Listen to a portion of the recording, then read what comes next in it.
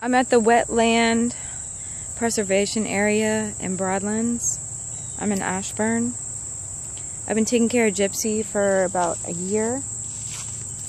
And she came to me and she had a, she's disabled. She has a messed up leg. She, both of her front legs are messed up. But she has been climbing all over my house and like literally climbing up things and flipping over and not being able to flip herself back over.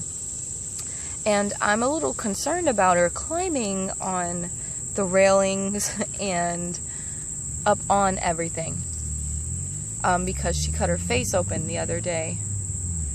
So she's a really strong turtle, and I feel like this area that we're in will be perfect for her to live. So I'm letting her free today.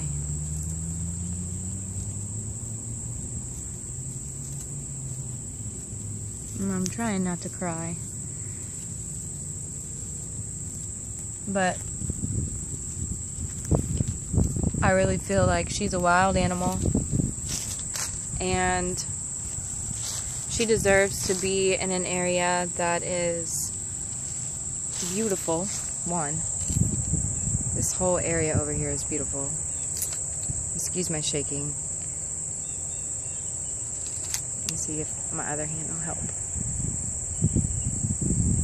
Um, there's a huge area you can walk around. It's all wetlands over here. I think she'll be very happy with all the other box turtles that are over here.